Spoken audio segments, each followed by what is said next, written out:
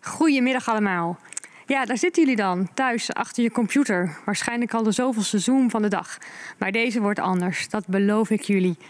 Ik ben hier in Pakhuis de Zwijger in Amsterdam en ik heb geen publiek, dus ik kijk naar een camera. Verder is hier nog de regie en een enkele collega.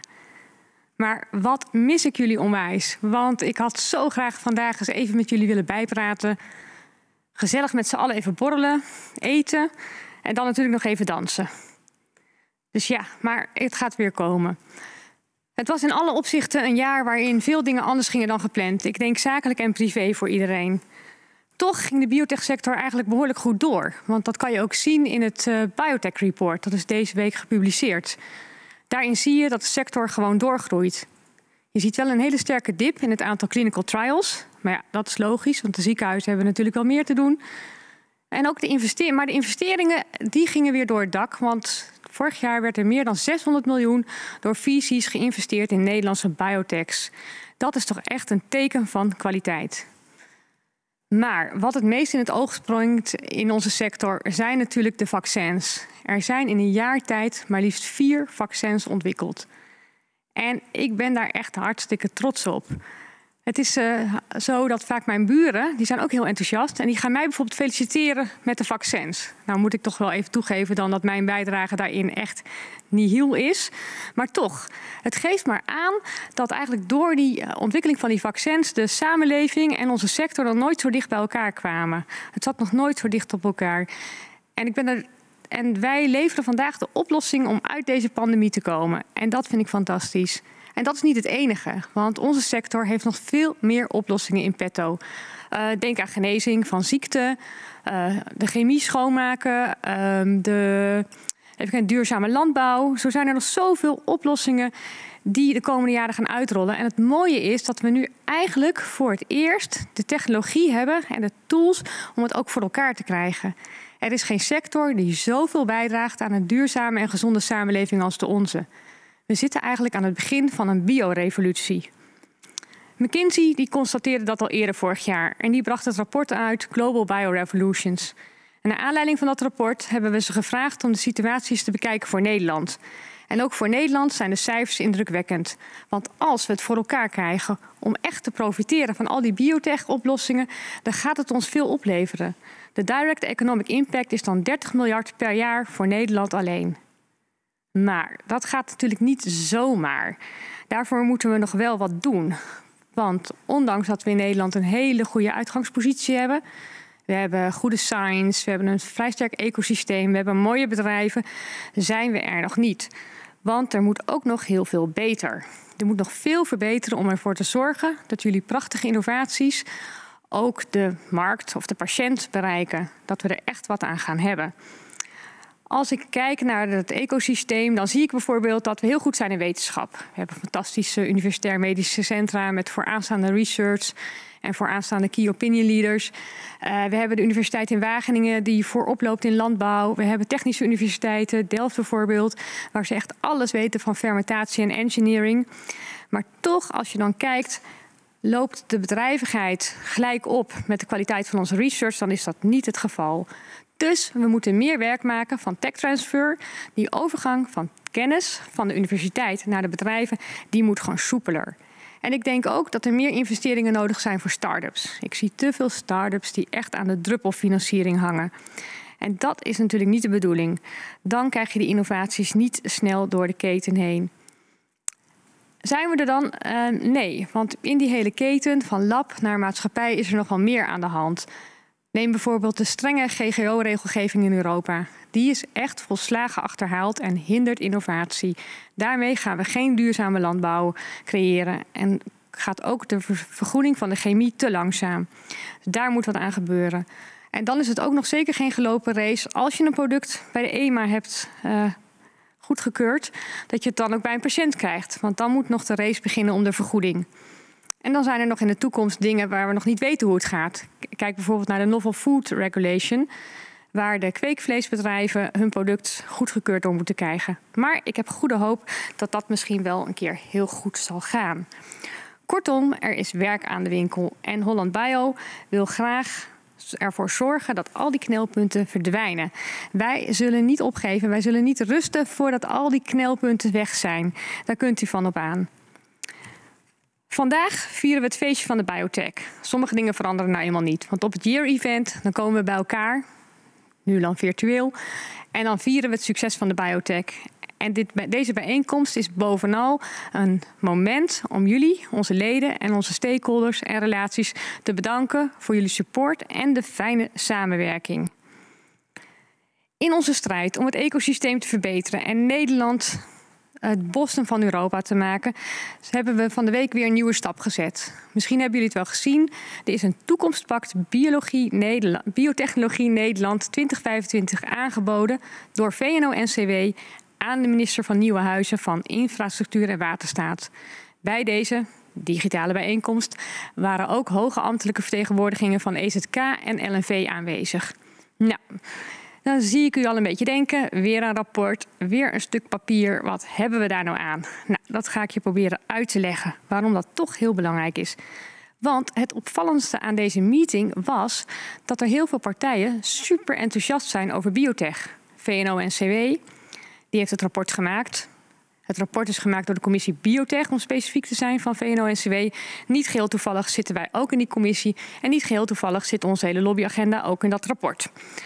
Dus vandaar dat ik het nogal een goed rapport vind. Um, maar wat eigenlijk veel belangrijker is, dat allerlei mensen in Den Haag ook beginnen door te krijgen dat hier wat gaande is. Dat onze sector, de biotech, maximaal dat die bijdraagt aan een duurzame en gezonde samenleving. Dat die biorevolutie, dat die nu gaande is. Sterker nog, biotech en AI, artificial intelligence, zijn eigenlijk de driver van de vierde industriële revolutie. Kijk, dat is iets, daar wil iedereen bij zijn. En erbij willen zijn, dat is een hele sterke emotie. En jullie weten ook allemaal, je overtuigt mensen of je wint ze voor je met emotie. En als je mensen voor je hebt gewonnen, zijn ze ook meer geneigd om je te helpen en je in te zetten voor de doelen die jij ook hebt. Nou is emotie natuurlijk niet genoeg. Het is leuk als mensen enthousiast zijn, maar je moet mensen ook overtuigen. En dat doen we met feiten. En die hebben we ook. Want onze sector heeft een verrekte goed verhaal. Waarom het een goed idee is om te investeren in onze sector. Niet alleen voor die duurzaamheid en gezondheid die ik al een aantal keer noemde, maar ook voor ons verdienvermogen. En juist nu is dat van groot belang. Nou, Holland Bio zet zich dus in om te zorgen dat het voor elkaar komt. Dat toekomstpact was weer een eerste stap. Enthousiasme is een tweede stap. En zo gaan we weer verder door. Een ander ding wat we veel doen bij Holland Bio is het duiden van het nieuws. En ik heb wel geleerd de laatste jaren dat hoe simpeler je dat kan doen, hoe beter dat het is. Ik vond, laatst hadden we bedacht, um, een vaccin maken is niet hetzelfde als pannenkoeken bakken. Dus vaccins zijn geen pannenkoeken. Dat vonden we wel heel erg strak. Maar als ik kijk naar fokken en sukken, dan zie ik wel dat ik vaak nog veel te moeilijk denk. Want als iemand een meester is in het duiden van de actualiteit, is het wel Bastiaan Gelijnse, een van de bedenkers van Fokken en Sukken. Bastiaan is hier vandaag bij ons in de studio. En hij gaat uh, ons van of eigenlijk Fokken en Sukken gaan ons commentariëren vandaag. Ik kijk daar naar uit. Bastiaan, welkom. Dankjewel. Ja, zo is het uh, precies. Uh, Fok en Sukker gaan meekijken en, uh, en gaan dan uh, nou ja, kijken wat ze ervan vinden en, en, een soort samenvatting geven misschien van wat er, wat er hier allemaal te berde komt. We zien nu in beeld een, een, cartoon, een oude cartoon uit de tijd dat het echt, je kan alweer zien hoe lang we alweer meedraaien. Fok en Sukker presenteren het journaal. Voor meer informatie over de situatie in Irak, sms wederopbouw naar 7488.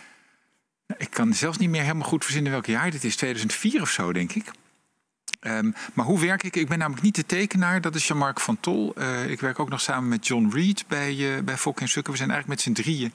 Dus als we er allemaal waren geweest, was het drie keer zo leuk geworden. Maar ik probeer, uh, ik probeer toch het mijne bij te dragen. Ik kan niet tekenen, maar ik heb wel al die tekeningen in mijn computer. Dus dan veeg ik zo de tekst eruit. En dan probeer ik iets te maken wat, nou ja, wat meer over vandaag gaat. En uh, ik ben natuurlijk gebriefd over dit programma en ik heb ook alle omzettingen mee, uh, meegekregen. Dus daar gaat deze cartoon dan over. Fok en Suk hebben een programmawijziging. Staatssecretaris Keizer stond aanvankelijk als eerste spreker gepland. Maar uiteindelijk is Mona toch weer het toetje geworden. nou, op die manier, maar dan iets inhoudelijker, hoop ik, voor zover mogelijk. Leuk, dankjewel. Ik kijk er naar uit.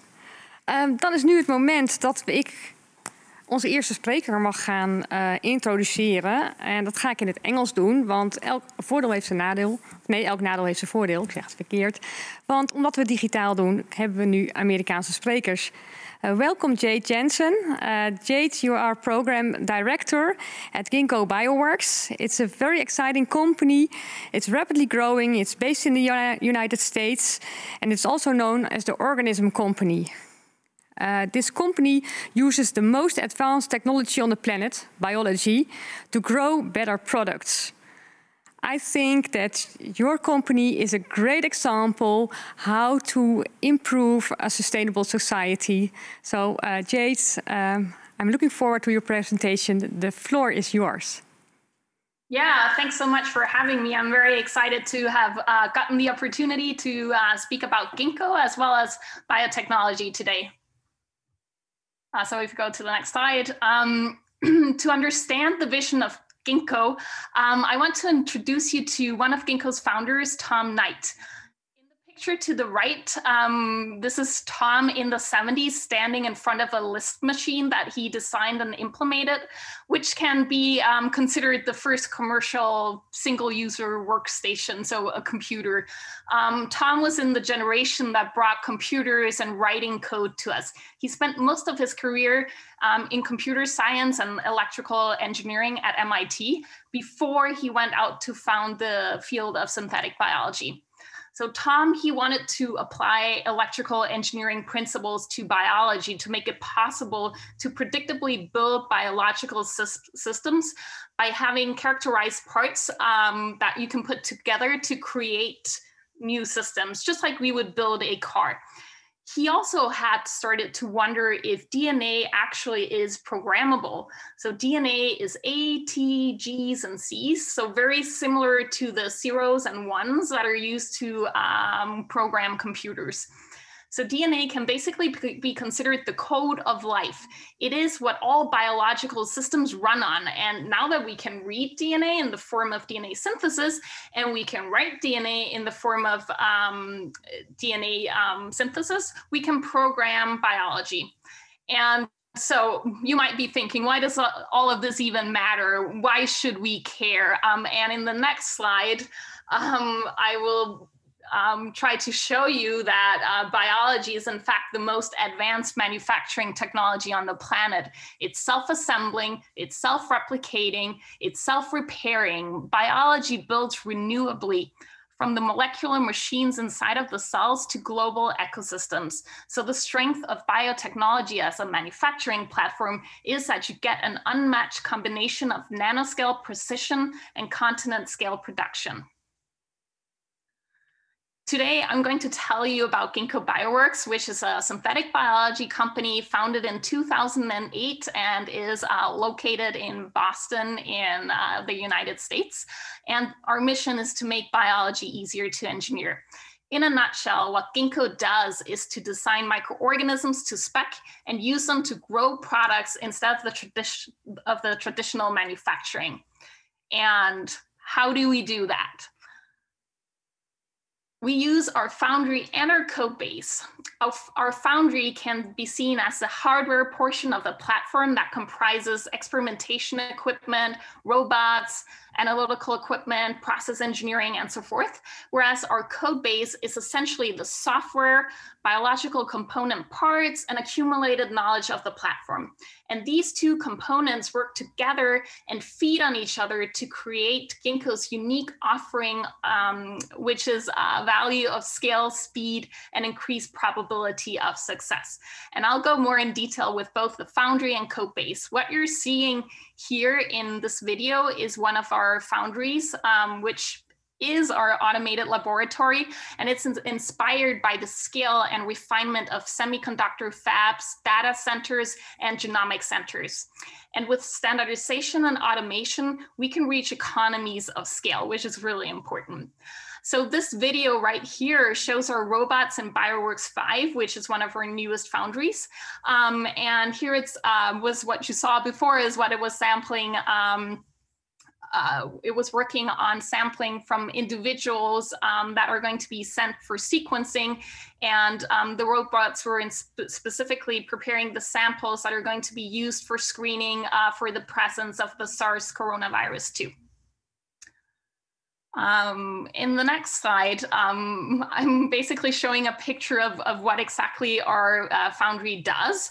Um, so it's, it's basically a rapid prototyping lab for organism engineering. We want to be able to discover and test as many things as possible and do it quickly so that we can engineer the best and most efficient pathways. So this ha happens in a design, build, test, and ferment cycle. Say we want to produce a protein or a product in, for instance, baker's yeast. First, our design engineers will research um, through all of the biodiversity thousands of enzymes and parts that make up biological pathways from all uh, kinds of species. And then they're going to find the best and most relevant space that we want to search. They design the sequences that code for these enzymes. When they've done that, our built and DNA synthesis engineers make it happen. They take those sequences, put all of the pieces together to get engineered microbial strains.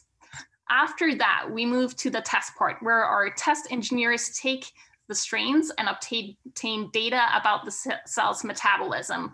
Um, so figuring out what the cells are actually making. Is it what we want? Are they making any byproducts? Um, they test this through assays, uh, mass spectrometry, omics, and, and many more.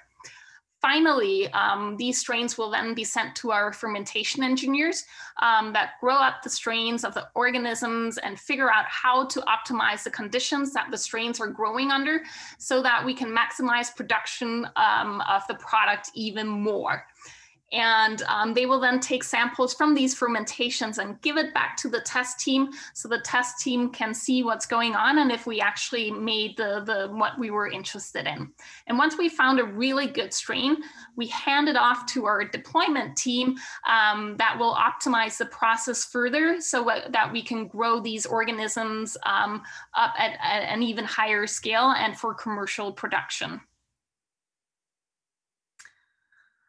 So that was uh, our Foundry. Our code base is uh, both our data, things like enzyme activity, performance data on all organisms engineered, and our knowledge. Um, and this includes, um, as an example, the deep learning models that make it easier to predict enzyme function and to engineer them.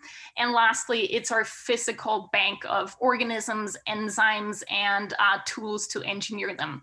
So our code base enables our foundry and our foundry enables code base. The more tests we do, the more knowledge we generate, the more knowledge we have, we can reduce the number of unit operations that it takes to build and deliver a successful organism, essentially making it uh, cheaper.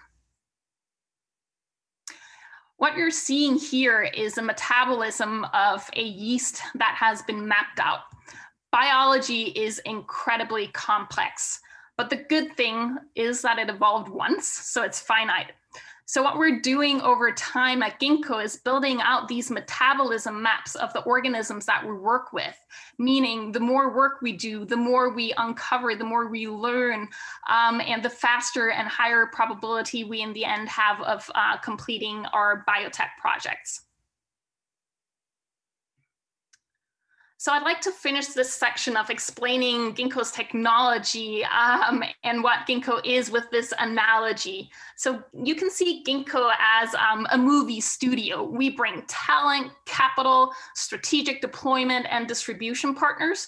Just like the movie studios had relationships with actors, theaters for distribution, and so forth on top of their movie lots, where the movie lot would correspond to Ginkgo's uh, tech platform. So now that I've um, explained what Ginkgo's technology is, let's have a look at how Ginkgo uses it. Next slide, please. We're an industry and organism agnostic company. That means, means that we can work with our customers across all different kinds of sectors and on any type of microorganism, even mammalian cells. Biology is everywhere. And one of the things I'm doing is to help our customers understand how um, synthetic biology can help uh, create more sustainable, economical solutions with added functionalities to address some of the challenges they have for our partners, we're developing products in the space of uh, spaces of um, therapeutics, food, flavor, um, fragrances, electronics, and, and as you can see on the slide, many, many more things. And I'll go through a couple of um, these collaborations uh, today. Next slide, please. Um, so this is a joint venture, so a company that was uh, founded by Ginkgo and uh, Bayer back in 2017. The goal was to bring advanced techniques in synthetic biology to agriculture to support the industry's sustainability efforts, um, starting with reducing the environmental impact of nitrogen fertilizer. Um, so what they're doing is engineering a microorganism that enables um, cereal crops like corn, wheat, rice um, to convert nitrogen from the air into a form that they can use. And th this really represents uh, one of those moonshot ideas. Um, cracking this nut would be an incredibly transformative uh, thing for the agriculture industry. In this slide, um, I'm presenting uh, Motif uh, Foodworks, um, which was launched in, launched in 2019 uh, with a $90 million Series A financing. Um, this is a company that focuses on developing food ingredients for plant-based foods um, while leveraging Ginkgo's platform.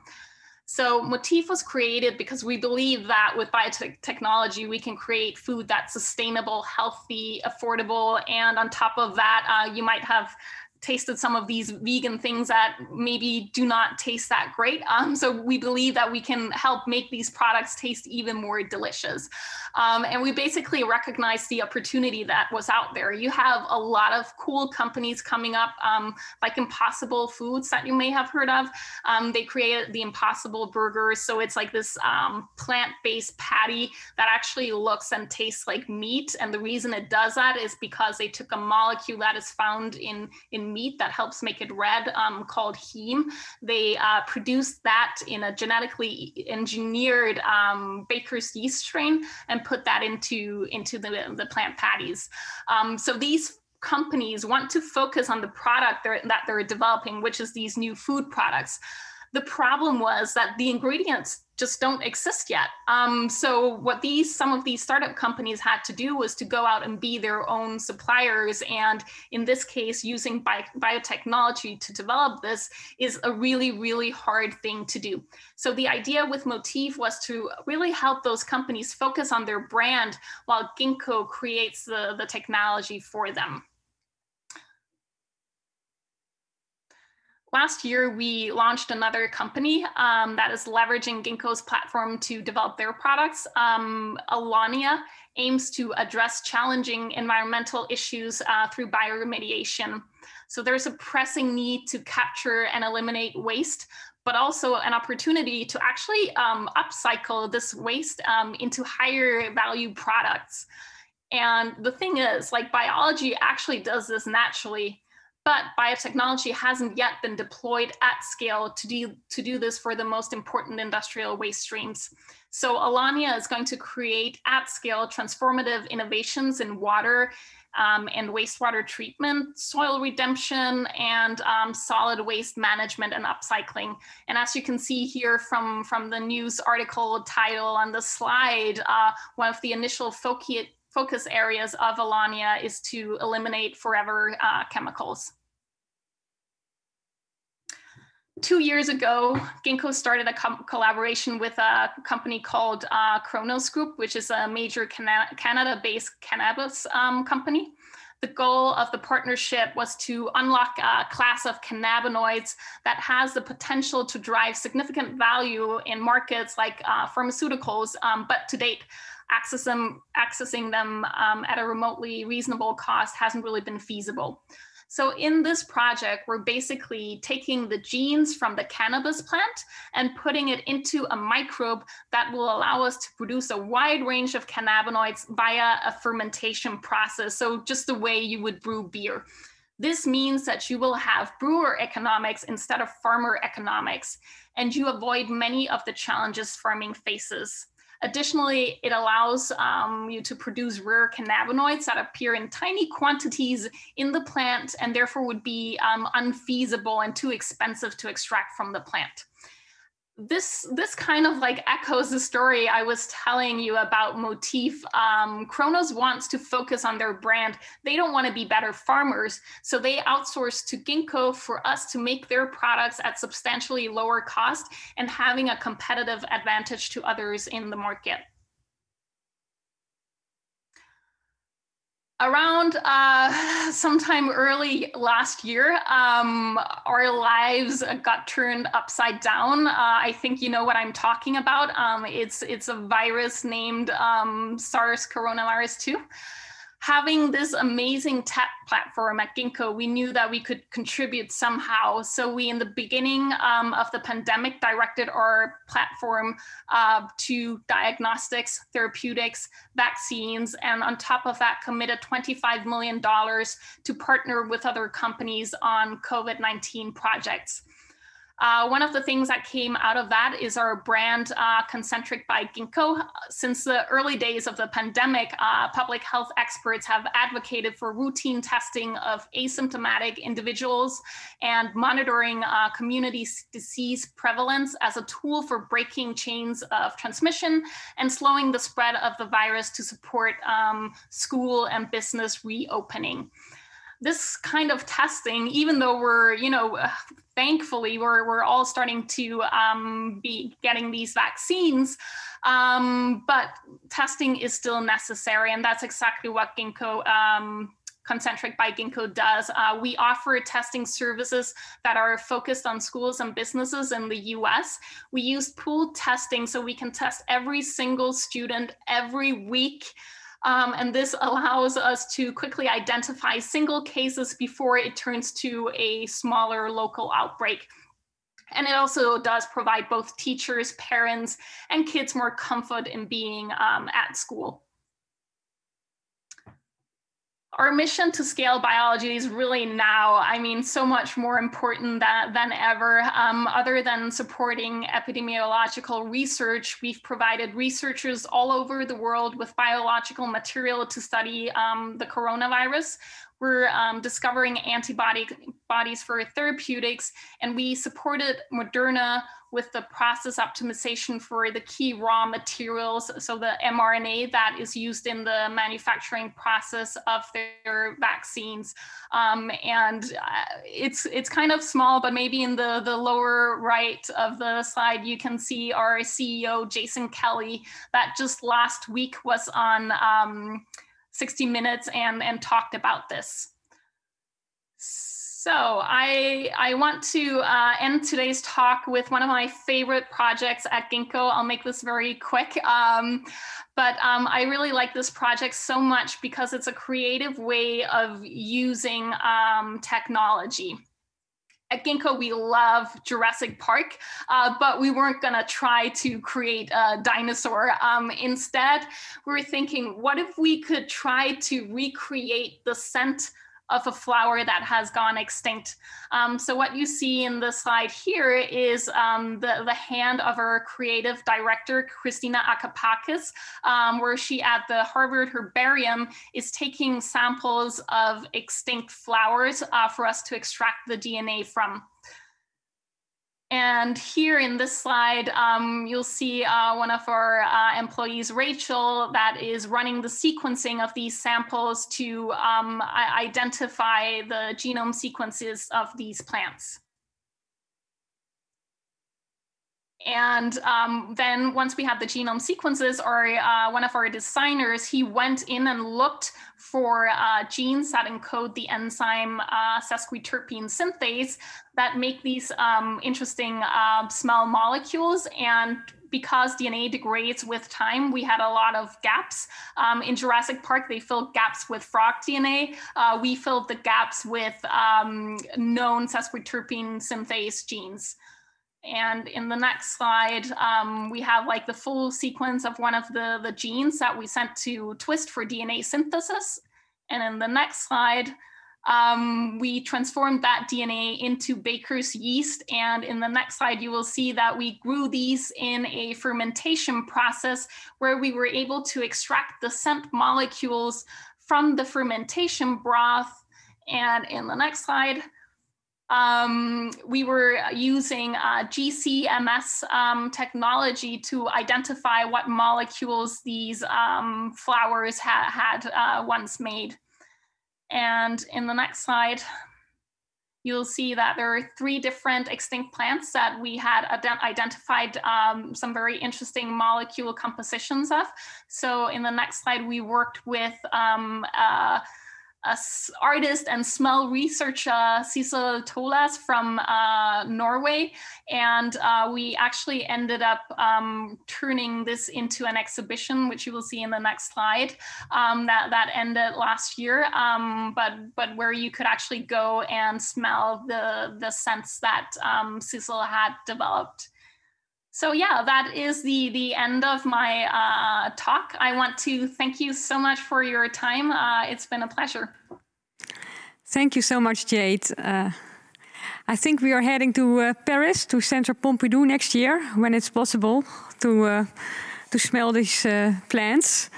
Uh, thanks a lot. Uh, for everybody at home, you can put your questions in the chat, in the chat function, and then uh, somebody here in the building sends them to me, to this iPad. It's also very high, high tech. But I already have one question here for you, uh, Jaide. I will uh, read it from my iPad. In it's in what stage are all these amazing collaborations and when are they projected to become available to consumers and society? Yes, um, so we actually already have commercialized uh, products. Um, it is up to our customer whether or not this is going to be public. Um, one example I, I talked about uh, today was um, the support of uh, Moderna's manufacturing process for their raw ingredients. And basically what we did is to, to scale up the, the production. So that means that because we were able to improve the process, so that means have the bacterial cells that are making these mRNAs make a lot more of it. Um, that means that you basically need to build fewer plants to make all the vaccines that are needed in the world. So, so that is one of um, the newer examples, uh, but we do already have uh, products in, on the market. Okay, I have another question here. Uh, a very inspiring story, Jaide. Thank you very much. Uh, could you explain somewhat more about Ginkgo's business model? Is your company mostly an ingredient supplier, or does it also benefit from the upsides realized by your clients slash partners? And it was a question from Karin Verzijde from Axon Lawyers. Yeah, um, Ginkgo is not an ingredient supplier. Basically, we're, we're a, a platform company. So um, if a company comes to us and, and for instance, say, oh, okay, like Cronos, um, right now we're producing um, we're producing cannabinoids with you know the plants, but we'd like to make it in a yeast. Can you do that for us? And so we work with them to produce ingredients for other companies. So we don't uh, have our own ingredients on the market. Thanks. And uh, another question is, uh, how does a company like Ginkgo Bioworks that has really all the tools to develop practically every thinkable application from agriculture to consumer products and healthcare make choices and prioritize its activities? Yeah, um, so I think because we're doing things in very high throughput, um, we typically do not have to prioritize. What we do is um, expand our capacity with more robots and more things so we can do more. However, we do care how our platform is used. Um, so there are, of course, of course, projects that we do not uh, do because we don't think they're they're ethical or they we don't think that they benefit the world. Um, so there are certain things that, that we wouldn't necessarily do. But in general, we expand for to be able to do more. And that's the beauty of using automation. It doesn't necessarily mean that we will need to scale on em- number of employees, but rather that we're scaling in, in terms of um, robots and automation. Yes, that's great that you can still expand and expand. That's really amazing. I have one other question. I have many questions to be honest, because I'm really intrigued by your company and your story. And uh, but I think this is a very interesting one from a, European point of view. Uh, the question is, what is the public perception of the applications that Ginkgo Bioworks develops, or the end products that is that its its partners in the end bring to the market. How does your company cope with that, and what can we learn from that in the Netherlands and Europe? Yeah, I, I, think we're very transparent about what we're doing. We are genetically engineering microorganisms. Um, there are, of course, um, certain companies that are concerned about GMOs because many consumers are concerned about GMOs. I think um, much of that concern is a lack of knowledge of what the technology is. Um, so to me, it's more a question of how do we use this technology? Um, and in general, there are already a lot of GMO uh, market uh, products on the market. You can think of insulin as one example, which insulin is derived from a genetically engineered microorganism, and the insulin is an engineered insulin to make it last longer. So people have to, um, you know, do fewer um, take take the insulin fewer times. Um, so I think if you have a product where the consumer can see that there's a true benefit for them using it, it it's not going to be a, um, a, big deal. And especially when it comes to pharma, that is more prevalent. When we're talking foods, people are more concerned.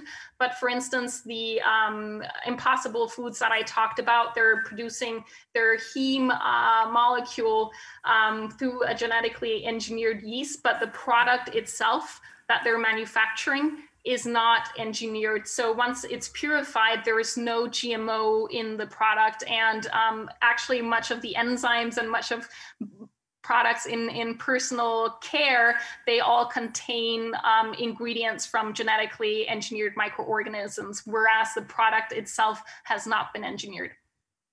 Thanks a lot, Jaide.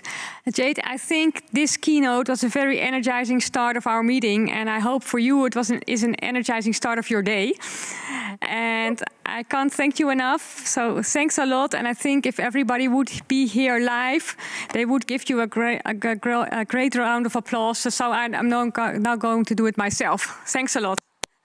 Thank you so much, and thanks for having me.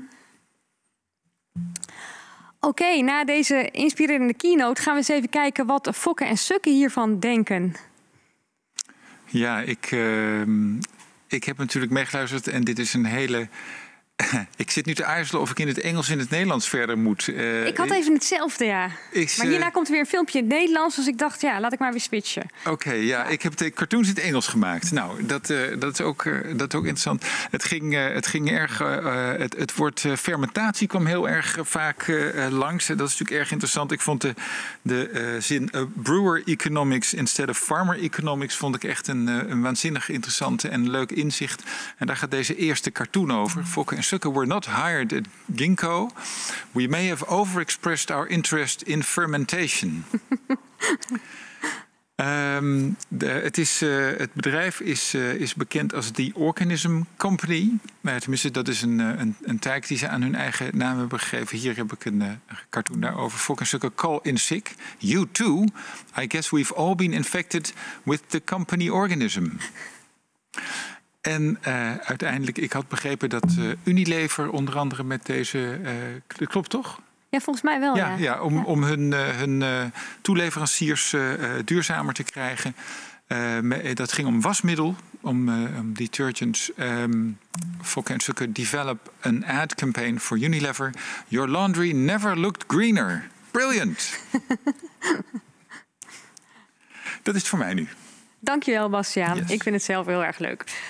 Um, even kijken, voordat we verder gaan met de volgende keynote, eerst nog even een kort intermezzo. Want uh, ik heb al verteld dat Holland Bio zich inzet voor een duurzame en uh, gezonde samenleving. En dat doen we elke dag. En ik wilde eventjes nog wat vertellen over ons team. Want we hebben het laatste jaar ons team weer kunnen uitbreiden met uh, drie mensen. En uh, daar zijn we heel erg blij mee. Ondanks deze tijd zijn onze nieuwe collega's fantastisch in het team geland. En ik wilde ook nog even een voorbeeld noemen waar we hard aan hebben gewerkt het afgelopen jaar. Um, het was het geval in Nederland dat als je een klinische trial wilde doen met een gen- of celtherapie, dan moet je een aanvraag doen en bij loket uh, bij Loket Gentherapie. En die aanvraag dat duurde dan vervolgens verschrikkelijk lang. De wachttijd liep op tot meer dan een jaar. En dat was ons natuurlijk al jarenlang een doorn in het oog. En uiteindelijk hebben we dit voor elkaar gekregen om het te veranderen. Uh, we hebben dat gedaan door een coalitie te bouwen van veel verschillende partijen. Uh, dan moet je denken aan universiteiten, maar ook het KWF en andere associaties, eh, de VIG bijvoorbeeld. En we hebben steun gezocht bij het ministerie van Economische Zaken. We hebben steun gezocht bij het ministerie van VWS en dat hebben we ook gekregen. En we hebben heel stevig die casus gebouwd. Er zaten trouwens ook nog meer verschillende patiëntenverenigingen in. En wat mij betreft was dit nou echt zo'n voorbeeld van alleen ga je sneller, maar samen kom je verder. Want uiteindelijk hebben we het voor elkaar gekregen. De vergunningverlening van cel- en gentherapie kan nu in een aantal gevallen in 28 dagen, in sommige gevallen in 56 dagen en in gevallen dat er toch nog met nieuwe technologie gewerkt wordt, die waar wat minder over bekend is, duurt het 120 dagen. Nou ja, dat is in ieder geval een stuk beter dan meer dan een jaar. En we hoorden al terug van verschillende academische centra dat er al meer studies zijn aangemeld. En waarom is het nou belangrijk dat die klinische studies in Nederland plaatsvinden? Op die manier uh, gaan de artsen, de key opinion leaders daarin het eerst maken het eerst kennis met die nieuwe therapie. En uh, de ziekenhuizen raken er ook mee bekend en aan gewend hoe je dat moet implementeren. En uh, toch voor patiënten, als je in zo'n trial terecht kan komen, kan het een, een heel groot verschil maken voor je gezondheid. En dat is uiteindelijk denk ik nog een van de allerbelangrijkste redenen hierin. Um, de dossierhouder, zoals dat heet in Den Haag, voor dit onderwerp is het ministerie van Infrastructuur en Waterstaat. En we hebben een filmpje van minister Cora van Nieuwenhuizen waarin zij dit toelicht. Allereerst dank aan Holland Bio voor de organisatie van deze bijeenkomst. Een actueel en heel belangrijk thema staat centraal. Nieuwe regelgeving voor de inzet van genetisch gemodificeerde organismen. De vergunning voor de toepassing van deze GGO's kan voortaan aanzienlijk sneller worden aangevraagd. Van maximaal 120 dagen naar 28 dagen op zijn snelst. En hoe belangrijk dit is, weten we allemaal. We zitten nog volop in de COVID-pandemie, maar er is licht aan het einde van de tunnel. Er zijn vaccins die ons weer perspectief geven op een gezonde, veilige samenleving. Vaccins die we te danken hebben aan de moderne biotechnologie. Vaccins die we snel konden toepassen dankzij de vlotte procedures. En het belang gaat uiteraard veel verder dan corona alleen. Ook in de strijd tegen andere ziekten is biotechnologie van groot belang. Denk aan leukemie, tumoren en aan ernstige aangeboren stofwisselingsziekten. In ons land worden veel klinische onderzoeken gedaan met geneesmiddelen met GGO's. En dat moet veilig gebeuren. We beschermen ons milieu. Maar we willen ook dat procedures niet langer duren dan nodig is. En de afgelopen anderhalf jaar hebben we met alle betrokken partijen het proces kritisch doorgelicht. Waar zijn de knelpunten? Wat zijn onnodige belemmeringen? En hoe kan het sneller en toch veilig? Het is heel goed dat dit is gelukt. Er liggen nu nieuwe, snellere vergunningsprocedures, zonder in te boeten op veiligheid. Op 23 december hebben we een belangrijke stap gezet met de wijziging van het besluit GGO. Een stap met grote maatschappelijke betekenis. En ik dank iedereen zeer die hieraan heeft meegewerkt, want het was een complexe puzzel. En laten we ook vooral onze procedures blijven verbeteren. Want dat is belangrijk voor ons onderzoeksklimaat het is belangrijk voor innovaties, maar vooral voor een gezonde en veilige samenleving. Daar gaat het om. Dank voor jullie aandacht en nog een hele inspirerende dag. Ja, dit was een mooie samenvatting van de wijzigingen die er nu zijn. En u begrijpt het al, Holland Bio uh, gaat natuurlijk nog door. Want we hebben nog wel meer te wensen als het gaat over biotech regelgeving. Dus laten we, ik zie het meer als een mooie eerste stap. Um, We are going to our next program part, and I am extremely proud to announce our next keynote speaker. It's Dr. Kakkis, and I had the honor to meet him almost two years ago uh, when we still could travel.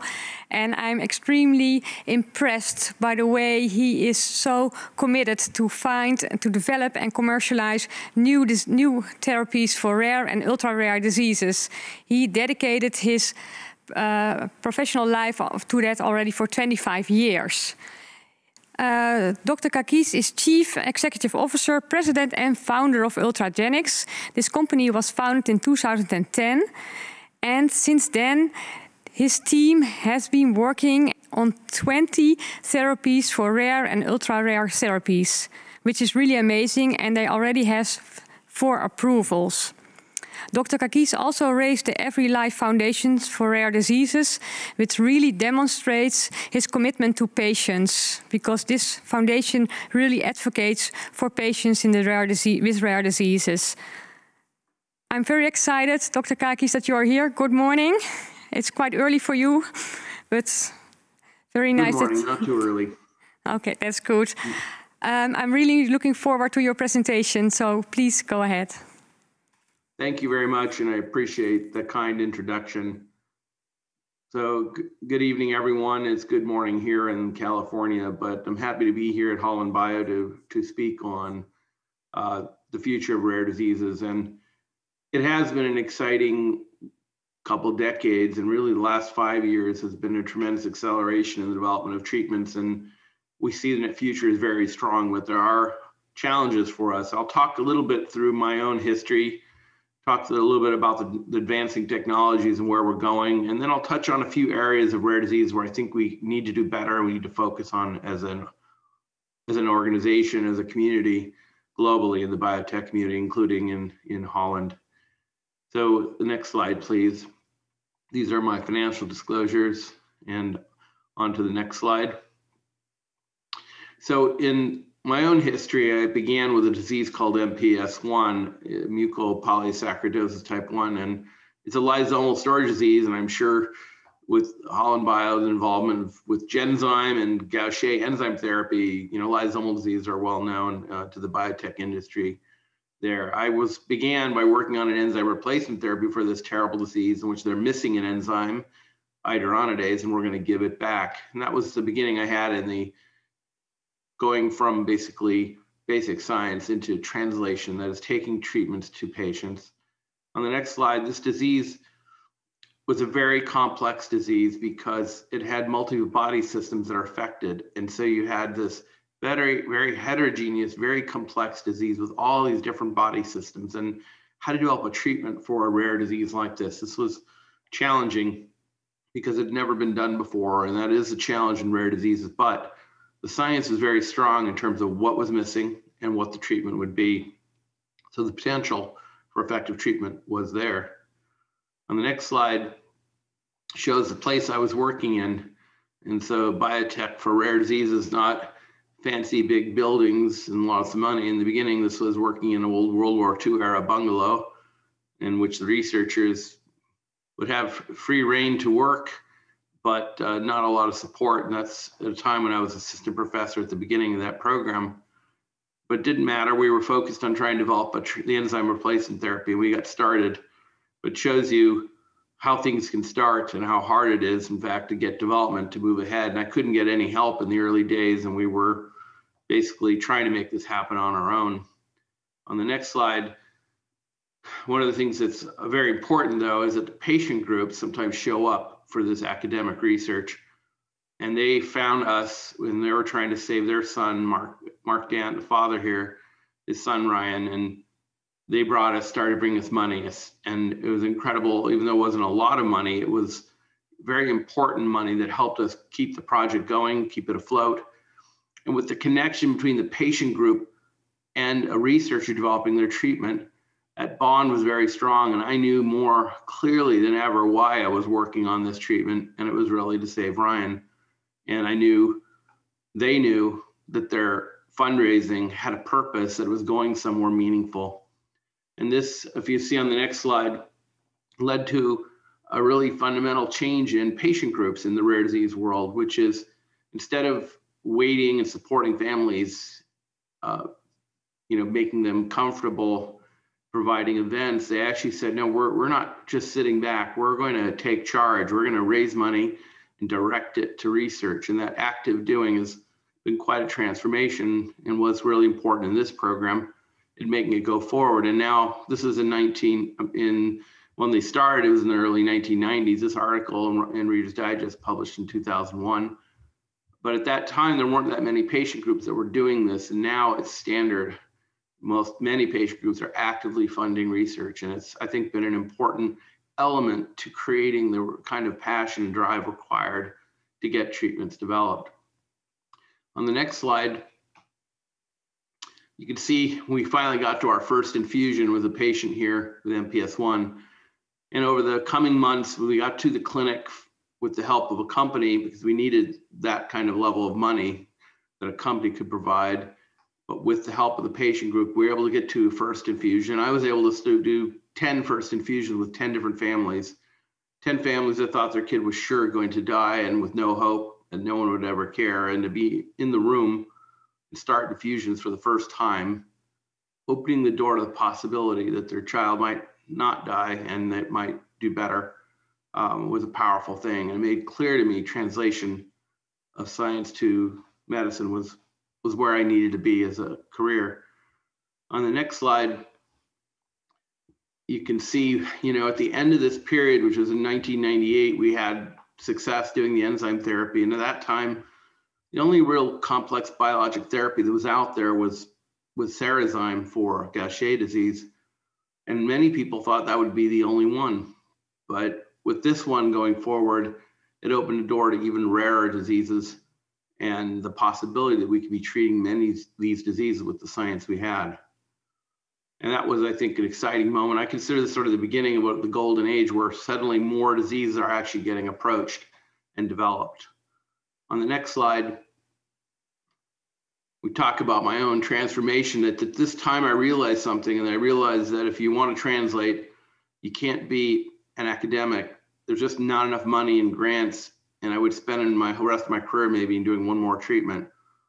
But coming to industry, I felt I could transform what the industry was doing and try to get companies to start working on more rare disease treatments. I started at BioMarin for 10 years, ultimately founded Ultragenyx.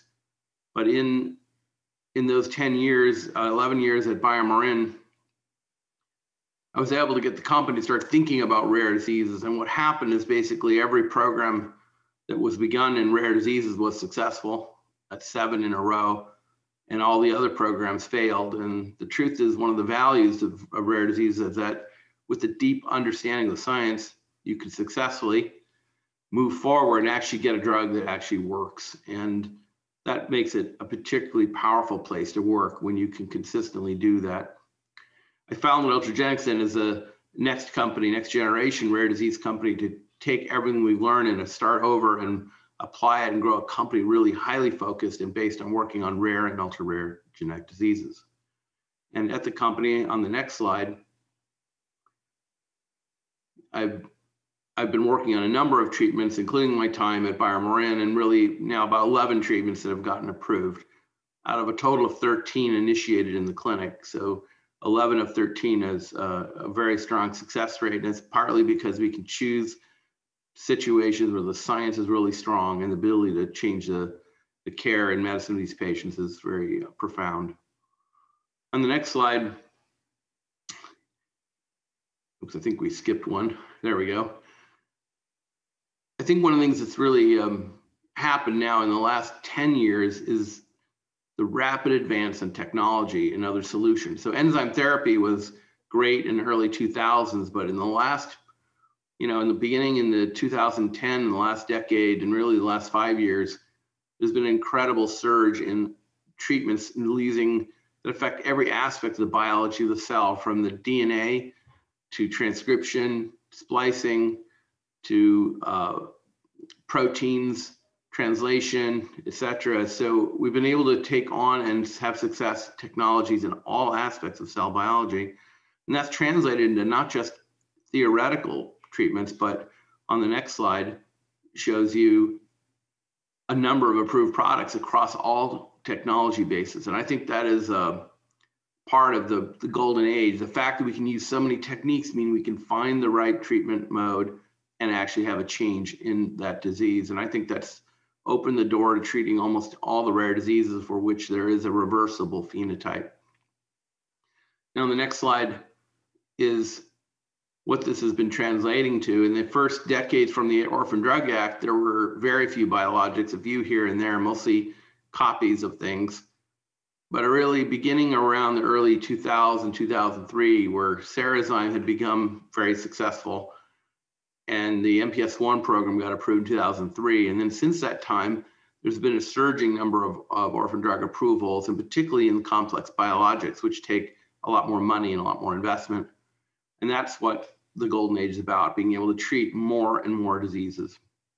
On the next slide, shows some of the factors I think that are happening. And many people say, well, it's the Orphan Drug Act. Well, the Orphan Drug Act was part of it. That is some drug le legislation, but there's been other legislation, as well as regulatory policy in both the EMA and the FDA that are enhancing the ability to develop treatments using single trials and smaller trials and designing programs that help reduce cost to some degree, and that's helped. The advanced technology and the ability to have it work, I think, reliably in humans, I think has been, of course, really important. But there's also been practical insights in how to do clinical trials, like how to design a trial for a small heterogeneous population. And we've gotten better in picking and designing them and not just doing what people have done for large market disorders. But finally, I think a very big driver is financial potential the truth is that if you can't raise the money, and that's tens of millions or hundreds of millions, you can't do drug development. And how do you do that when a disease is so rare? Well, rare disease drugs are expensive, but the power of those drugs is also very power is very great. So financial potential has been part of the story. And if uh, the therapies were not expensive, then there wouldn't be any ability to raise the money that required to actually do all this development that's going on it is a difficult part of the reality, but it is what's truth that funding is required in order to make this all happen. On the next slide, I look at our own process. And at Ultragenyx, I knew we had to make the financial part work. You had to raise enough money to do enough treatments and then be able to earn enough money to keep the whole thing going. This is a picture at, in Wall Street when we went public. And of course, one of the great moments of this is the fact that David Beckham underwear commercial was also on the sign right next to us. So I have that in my uh, Ultragenyx going public photo for all time. So we went public. We've been raising money, and over the over the decade of our life as a company, we've raised more than two billion dollars in cash, which we've been investing in multiple treatments, including four approvals now. But that's what it takes to actually develop a lot of treatments for rare diseases. On the next slide, look at a few of the things we're doing. They're new technologies. We have an antisense oligonucleotide for Angelman. Angelman's disease, I think most people would not think of as a, uh, a disease that might be treatable, but now the science has advanced to be able to do that. We have multiple AAV gene therapies, and AAV gene therapies really come into its own with some amazing potential to treat. And we also have now an mRNA therapy course, mRNAs was very obscure until the COVID vaccine showed success as mRNAs. And we've been working on them as therapeutic delivery agents, essentially a way to deliver enzyme by giving the mRNA instead. These are all changing what we can treat and opening up the number of diseases and the type of disease we can treat from much more than just lysosomal enzyme therapies for those type diseases. On the next slide, then what are the challenges going forward? Development costs are still very high and the limiting development of treatments for the rarest to some of the rare diseases. Those rarest diseases just can't get the funding yet. And what we see a lot of parents raising money and doing their own research, and that is really creating a you know a significant challenge because they're not experienced in rare disease drug development. And while the more common rare diseases are getting a lot of uh, development pressure, we still have a challenge because those costs are high. And with those costs are high, the prices will have to stay high. And that, that system creates a problem for us because high prices and the difficulty uh, developing manufacturing drugs will create problems in access to the drugs, both pre and post approval, and can be a growing, growing concern when it's not just Cerezyme now, it's now dozens of treatments. So, how do we apply the science we have? How do we get all these treatments created from our science and actually make them accessible? This is the challenge for the rare disease community to understand the truth about how much it's costing and what the system is causing us to do and how that's changing the cost structure of, of getting drugs treat, patients treated. So on the next slide, I'll talk a little about some of the development challenges that are happening. Cost development is very high. And uh, honestly, with, with MPS 1, where there was a few hundred patients in the world probably on the treatment, to spend more than $100 million, $130 million plus is a huge sum of money. And that unfortunately this situation is is if anything getting worse lately. There had been some improvements and some acceptance but the number of trials the excess design and the demands being placed are, are really getting worse over time. Pediatric investigational plans in europe have been incredibly complicating and harming us in general biomarker resistance that is resistance to using biomarkers for endpoints has been a significant problem as well and we are really failing to understand that the science of the biomarkers are how we're going to get treatments developed efficiently. And if we use them correctly, we would actually do much better. The number of post marketing demands is another area, creating costs that continue to affect us. And if we spend money uh, chasing down bits and pieces of things later through multiple, multiple regulatory demands, what ends up happening is we're not developing, we're not investing money in the next treatment we need a better plan how we deal with post marketing and really for a number of these things. If we really want to keep this going, and if we want to do it in a way that's cost efficient and to allow us to be able to develop accessible drugs. On the next slide, talk about a little about evaluation of, of trials. So there's been more and more push for you know clinically relevant primary single primary endpoint type designs and particularly difficult type endpoints that involve either an outcome or involve a patient um, report. And people don't realize those type endpoints are really hard to do with rare diseases where you have a lot of heterogeneity and are essentially going to force trials to be even larger and even more costly and drive up the need for even higher prices in order to recover those investments. And they are not very good, those type designs for complex diseases. And I just like people to understand that the complexity of putting too much into those primary endpoints is driving up the cost for the business. We've been promoting what we call the multi-domain con- endpoint concept as a way to capture efficacy across many domains and to be less prescriptive in how you analyze a study, which will still allow a rigorous analysis, but be more adapted to the reality of the variation that exists in patients. I keep asking people the question, why do we use single primary endpoint? for a disease that affects five or six clinical domains. What clinician would do that taking care of their patient? They're not going to look at one thing and make a decision. They're going to look at all these things. And yet our trials are still looking at one thing. We need to get out of this mode and get on with a mode that's more in line, one that's not driven by stat- statistics or statisticians, but drilled by clinical evaluation and let the statistics work for that clinical evaluation. On the next slide, I show one of those methods, which is called the multi-domain responder index. In this, you pick four to six domains, a variety of problems that are all unique and different from each other. You enroll a variety of patients. You don't have a highly selected population. And some patients can score on some endpoints, some on others. They may not be able to do all the tests, but they can do some of them. And they may not be abnormal in all the tests, but it doesn't matter. What you do is you score patients. If they get better in a significant way, more than a minimally important difference, they score a plus one win. If they decline, get worse, then they score a minus one. But if they don't change, they drop out as a zero essentially. What you're looking for is how many big wins and how many big losses occur and try to see the net effect. This seems maybe different from anything you've ever heard of, but it actually is incredibly powerful. And I'll show you that on the next slide with the Aldurazyme trial. And was the enzyme therapy for MPS 1. And in this analysis, we basically took five domains breathing, walking, shoulder flexion, sleep problems, and um, visual acuity. And what we can show if if you have a big improvement, you get a red, and if you have a decline, you get a yellow. If you look at the placebo, you can immediately see in the five columns, which are the domains, that the yellows outnumber the reds. And if you look at the uh, aldurazyme site, you can see the reds far outnumber the yellows, right? And you can see the benefit across multiple domains in this, and you can see how heterogeneous the response is. But the power of that in this analysis is tenfold better than a traditional. You pick multiple domains, you don't narrow your scope into one thing, but now you're capturing all the efficacy. And by doing that, you actually get a lot more power.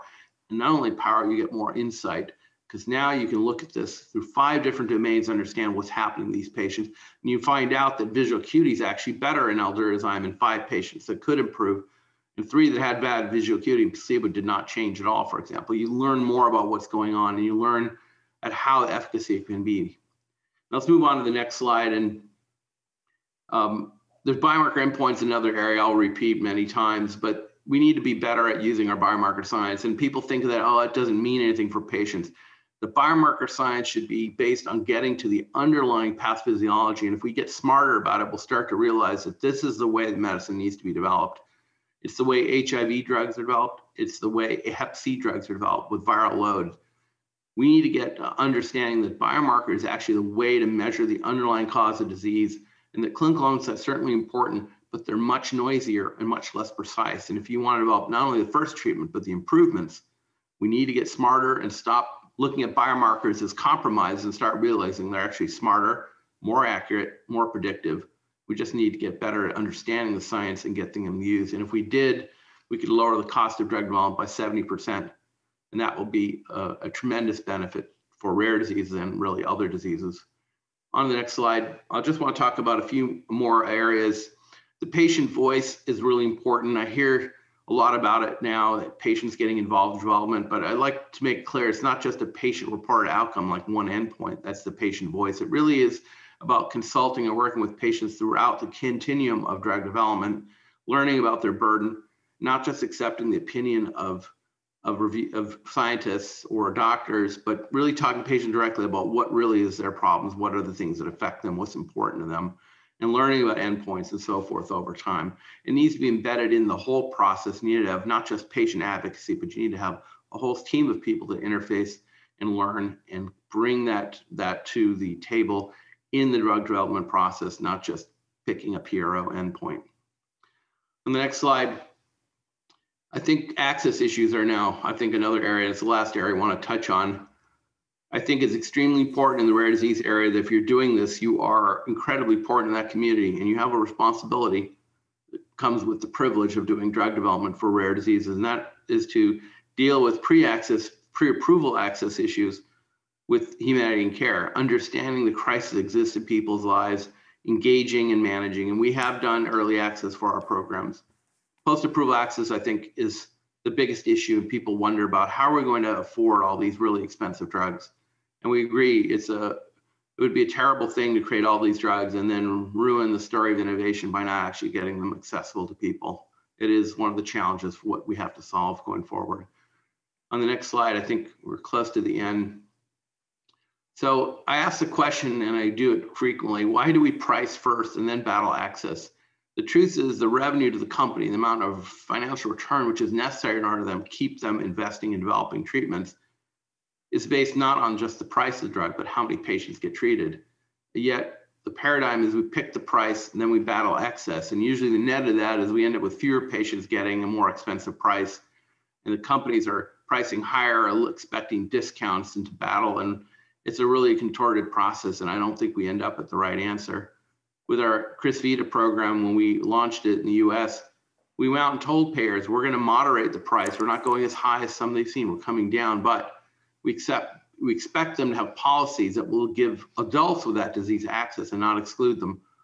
We're able to get that to happen, and that's been very successful. I think we need to think harder about how to do this, find a better way. Net final slide. So we're in the golden age. So many treatments coming forward. It's got to be exciting, and I'm very excited about how many new diseases will get treated that we didn't think we could treat. And and I'm excited about the possibilities. And I do think we need to collaborate, cooperate, and make sure that the industry and the health system, who are in a symbiosis together, are actually developing the treatments as cost efficiently as possible and making them accessible in a way that allows the industry to continue funding the development going forward. And that's what I hope for the future of rare diseases. But thank you all for today. Thank you very much, Dr. Kakkis, for this inspiring talk. I'm really impressed by the way how you try to solve the most precious issues to develop new therapies for rare and ultra-rare diseases on the whole spectrum. Um, if I understand it correct, I, am particularly interested also in the multi-domain uh, response. Um, how do the regulators look at these kind of approaches? Well, the, the normally regulators are very conservative and very cautious. That shouldn't deter you. We have been talking to regulators. We used we talked about it in program, but I used it in the Mepsevii program. But the regulators saw it and was successful, by the way, in a 12 patient randomized trial. We, the multi-domain responder worked. Actually, we were showed uh, we showed clinical efficacy. They were still not yet fully accepting of it. We have talked most recently with the FDA in greater detail, and we're putting out a paper shortly on the topic. I think they're starting to understand it. What the regulators like is one thing. They like the fact that we can enroll all comers because they're getting concerned that a lot of the studies are highly honed subpopulations that may not reflect the whole patient population.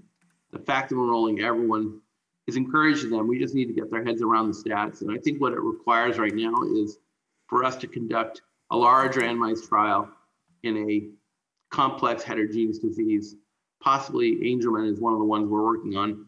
If we can show how it works in a multi-domain disease, in a complex heterogeneous way, in a really large study, I think we can reset the paradigm.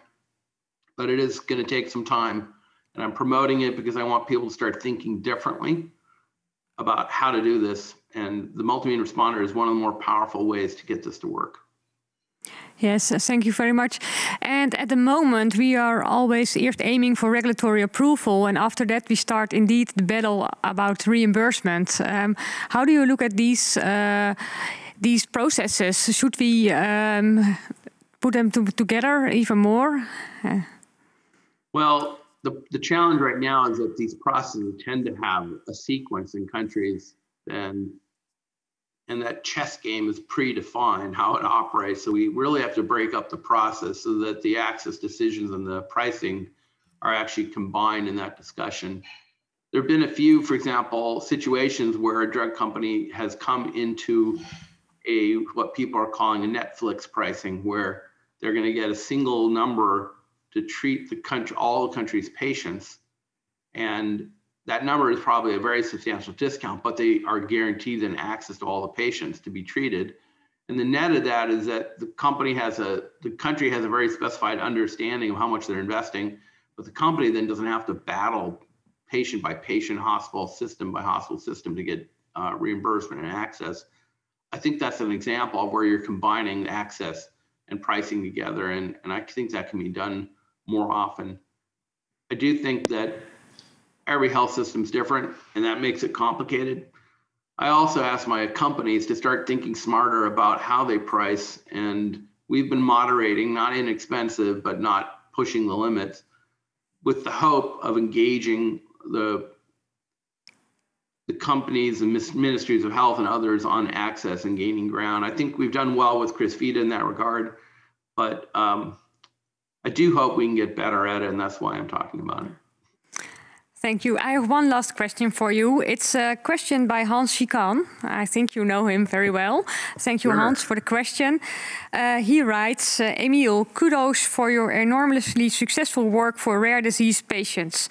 Very impressive and inspiring. What is your single top advice to companies working in the rare disease area?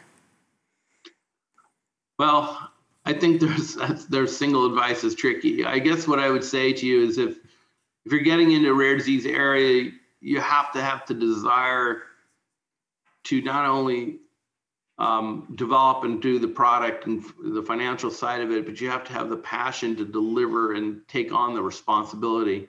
Because with the privilege of developing a treatment comes the responsibility. And I would advise them to understand that responsibility so as they get out there, they actually can gain the gratification of being the hero for patients and not end up with a, a relationship with a successful treatment that is difficult and re- results in not patients not getting treated. I think you need to have the right spirit of responsibility in doing this treatment. And I wish all of them to have that so that they can enjoy the enormous gratification and great feeling that is that our company has and others that you can get in actually changing the future for a rare disease patient. And it's good to thank you for the question, Hans. Um, look forward to seeing you when this pandemic's over. Yes, uh, Dr. Kakkis, thank you very much for joining us today. Thank you for your inspiring keynote, and I hope that all your ideas about improving the development process uh, will really become a reality very soon. Thank you very much. Thank you so much for having me here at All on Bio. Ja, wij gaan uh, naar Fokken en Sukken. Kijken wat zij ervan vinden. Bastiaan. Zeker. Um, we begonnen dit blokje natuurlijk met, uh, met de minister, Cora van Nieuwenhuizen, over, uh, over de snellere toelating uh, die, die even gevierd moest worden. En zij benadrukte natuurlijk ook weer de grote, de grote bijdrage die de, die de sector aan, het, aan, de, aan de gezondheid bijvoorbeeld geeft. Maar Fok en Sukker, ja, en Sukker zijn blij dat ze gewoon chirurg zijn. Allemaal reuze knap, die biotech. Maar het kan toch nooit de bevrediging geven van een flinke amputatie. Um, in, uh, in het verhaal van uh, dokter Kakis van uh, Ultragenics. Um, het, het, het, ik zit de hele tijd rare en ultra rare ziektes te denken natuurlijk. Um, maar dat, dat vond ik te flauw om in een cartoon te verwerken. ik heb hier een, een, een stelletje fokken en die zich die zich interessanter proberen voor te doen dan ze zijn. Fokker en have pinned their last hope on biotechnology. We have a rare enzyme dysfunction that makes us eat hamburgers and chocolate all the time. en uh, verder, ja, niet iedereen is even ongelukkig, zoals dat in het oude Polygoonjournaal uh, heette. Fokker en Sukker add nuance to the argument. Uh, an ultra rare genetic deviation doesn't have to be a problem. Dat is het voor nu. Dankjewel, Bastiaan. Je moet goed kijken. Ja. Wij gaan door met ons eh, volgende programma-onderdeel. En dat is een gesprek hier aan tafel, midden in de studio. Ik ben ontzettend blij dat ik hier drie gasten heb. Uh, mevrouw staatssecretaris Mona Keizer, staatssecretaris van Economische Zaken, verantwoordelijk voor het innovatiebeleid in MKB en ondernemerschap. Rechts van mij zit Erik van den Berg, CEO van AM Pharma. Straks gaan we nog even wat meer aan je vragen. En Veronique de Bruin, CEO van Fotanol. Van harte welkom. Uh, we gaan met elkaar praten over biotech natuurlijk, over het ecosysteem. En ik wilde graag eerst het woord geven aan mevrouw Keizer. Hoe kijkt u nou tegen biotech aan? Vanaf een meer wat outside-in view voor ons. Ja, ik, staatssecretaris van Economische Zaken, verantwoordelijk voor topsectoren en innovatiebeleid. Uh, en dat is hoe ik er uh, beroepsmatig uh, naar kijk. Maar ik ben natuurlijk ook gewoon een burger van dit land. En ik weet wat voor een fantastische uitvindingen daar plaats, uitvindingen die daar plaatsvinden. Dat is twee keer vinden, maar u begrijpt wat ik bedoel. Um, zo kijk ik er ook naar. En of het nou gaat over het rode, het witte of het groene deel daarvan. Daar liggen echt de uitvindingen die we de komende jaren nodig eh, hebben. En het mooie van uh, deze organisatie is dat het het gelijk verbindt aan ondernemerschap, aan vermarkten. dat is trouwens ook nodig om ervoor te zorgen dat al die, die knappe koppen die met op, op geweldige ideeën komen, vervolgens ook weer bij de Nederlander komen die daar behoefte aan heeft. Ik kan het zelf eigenlijk niet mooier zeggen. En ik ben vandaag ook begonnen met het eh, benadrukken van uh, de bijdrage van biotech voor een duurzame en gezonde samenleving. En ik wil eerst eventjes nog ook naar Erik en Veronique. En ik wil jullie even vragen om je kort voor te stellen en vertellen uh, waar je met je bedrijf aan werkt. Prima, dankjewel. En nadruk op kort denk ik ook. Dus uh, Erik van den Berg werkt bij AM Pharma. Pharma is een bedrijf wat een geneesmiddel ontwikkelt voor acuut nierfalen. Uh, dat gebeurt op de intensive care. Uh, we zien het bijvoorbeeld ook in COVID-19-patiënten.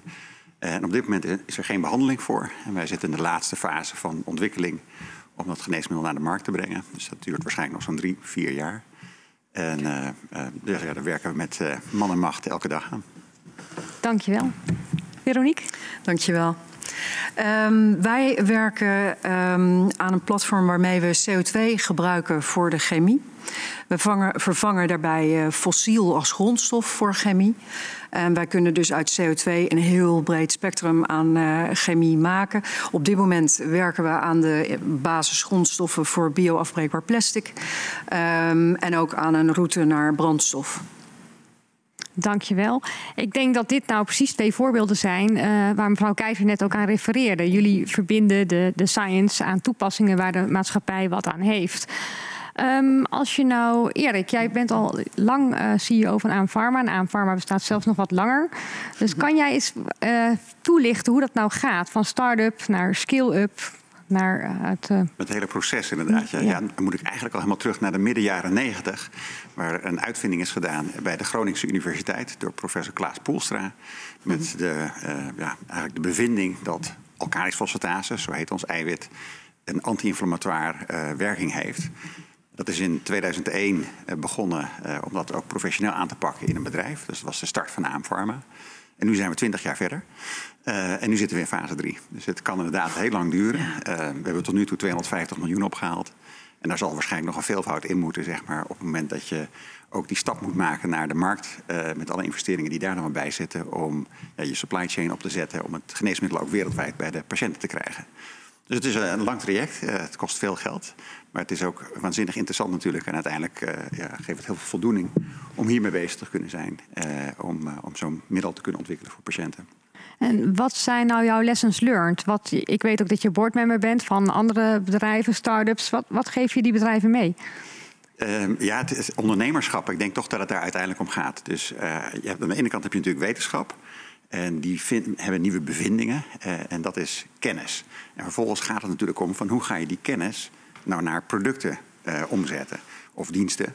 en dat is innovatie. En dat stuk dat vergt ondernemerschap, heel veel kapitaal.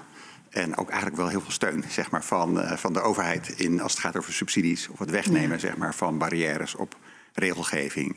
Uh, of uh, ja, talentontwikkeling, die ook nodig is voor bedrijven om dat aan te trekken. dus zo lang kan het duren. Als ik dus naar andere biotechbedrijven kijk, waar ik inderdaad op, bij de Raad van Commissarissen actief ben, is het echt het stimuleren van de mensen om niet op te geven. Ik denk dat dat het belangrijkste is, want er zijn heel veel tegenvallers natuurlijk in de ontwikkeling van een geneesmiddel de juiste talenten aantrekken. En ook met de juiste mensen om je heen verzamelen. Bijvoorbeeld de juiste kapitaalverschaffers. Uh, omdat het uiteindelijk het recept voor succes is voor dit soort uh, type bedrijven. Veronique, herkenbaar, het pad? Ja, heel herkenbaar. Het hele leuke is dat ook onze roots van de uitvinding liggen ook bij een Klaas. Klaas Hellingwerf in dit uh, geval met, en Joost Texere de Matos. Uh, uitvinding in, in 2008, dus wij zijn wat jonger uh, als bedrijf. Um, maar wij zitten dan ook in een andere fase, denk ik, dan waar jullie zitten. Um, voor ons in de markt waar wij zitten, want daar zit wel een verschil uh, in de maturity van de markt. Hè. Ik denk dat uh, misschien komen we daar nog op, maar er is een verschil tussen de red biotech en white biotech. Uh, in die zin ook echt. Um, maar wat ik jou hoor zeggen over de samenwerking is essentieel. Dus het stimuleren van samenwerking met corporates ook. En dat uh, ja, op welke manier dan ook, ook door de overheid. Ik noem, je noemt ook subsidies als middel. Maar ook fiscale regelingen zijn daarin heel erg belangrijk om die corporates te stimuleren om samen te werken. Uh, want alleen uh, kunnen we dat nooit behalen. Regelgeving in algemene zin ook heel belangrijk. In relatie tot vergunningen en ook CO2-beprijzing in ons geval. En voor de rest, ja, denk het vallen en opstaan uh, zeker herkenbaar. Ja. Mevrouw Keizer, ziet u een, uh, denkt u dat de MKB'ers in de, de life science of in de biotech, dat die uh, afwijkend zijn van andere, onder, andere mm. bedrijven? Als u kijkt naar verschillende, want u overziet meerdere topsectoren, dan zou er ook ander beleid voor nodig zijn?